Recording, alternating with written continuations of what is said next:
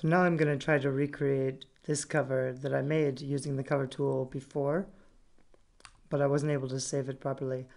And um, we're going to do a lot of the same things that we have done, but I'll show you a few new things that I haven't shown you yet.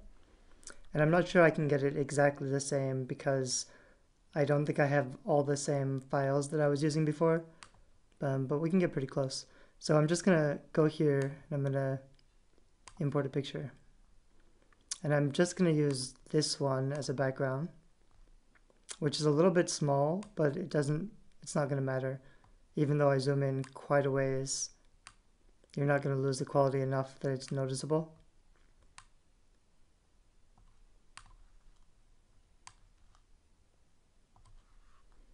And then I'm going to add my, my guy. And I had used an original photo which was much bigger. It's over 2 megabytes and it's about 3000 pixels, which is um, because I want to watch my file size. I made a new one that's only as wide as I need it to be, which is 1800. And it's about a sixth of a size smaller. It's much smaller. So that's going to make it much easier to save. And we're trying to avoid sometimes if the file size gets too big, it has problems saving, and that's what we don't want. And so I'm going to make this big enough to fill, and this is just a guy on a beach. And I'm going to have to use several layers of this guy. Because what I want to happen is I want this light to come through and to color some of this so that this has a really shiny sunrise effect like you see in that picture, wherever it went. And the problem with that is that if I go to lighten or screen, that's going to work for these sky areas. But it's not going to work for the character in the middle because I have to use something like multiply to make him dark. And if I use multiply, then it's too dark and I lose all these colors. So I'm going to have to use a few different layers. Um, but first, there's this hard line up here. So to get rid of that, I can just go to this image and I'm just going to fade out the top. And this is the way you would blend any two images together. If you've got something on the top and something on the bottom, you're going to get a hard line in both directions. So you've just got to select that layer and delete it from the top. And I can just use this eraser tool at the maximum size and the maximum softness and I can add this back on. I can still see a little bit of this line here, so I didn't erase it well enough. So I'm going to go back and do it again and just make sure I get all of it. And now you can't see the line anymore. So that's actually fine for the sky and the bottom. That works pretty well.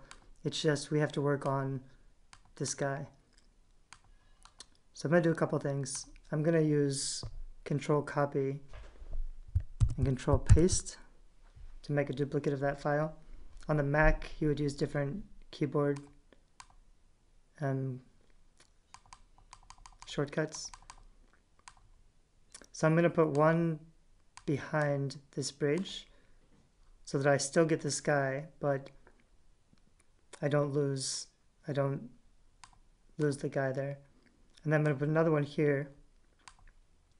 And instead of multiply, I'm going to try a different blending.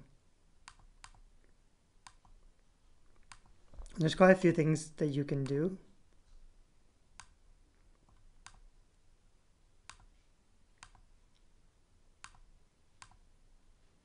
So with this one, which is darken, it doesn't make it dark enough.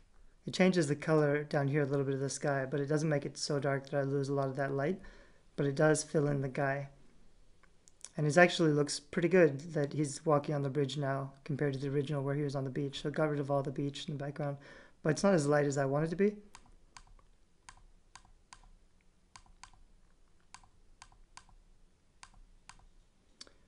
So I'm going to duplicate it again.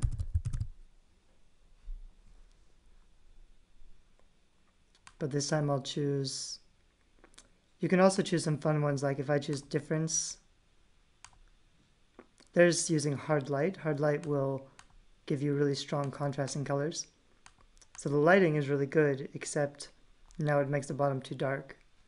So what I have to do with this layer I can just delete some of this bottom from this layer only, and that'll give me my bridge back.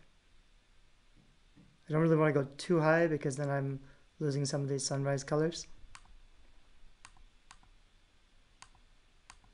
And um, this one here looks good, except there's it's coloring the sky a little bit black.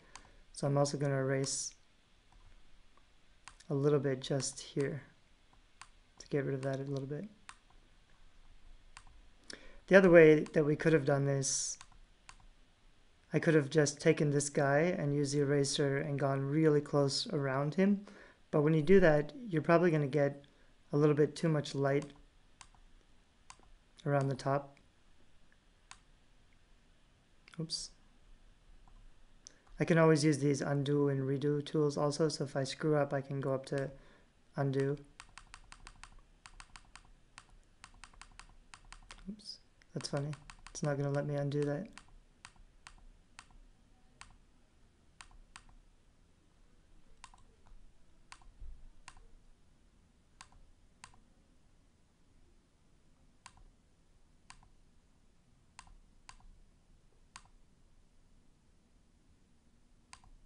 I have to figure out what I just did so I can reverse it.